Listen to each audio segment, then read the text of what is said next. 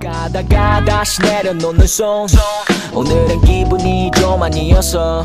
준비가 덜 됐던 채로 보여줬던 내 모습이 후회돼 못 적겠어 그래 다내 탓이네 몇 년째 똑같대도 I'm gonna be a man 누가 뭐래도 회사의 선의 존재 너무 자각했으니 딴 사람의 성공을 지켜볼 땐 괜시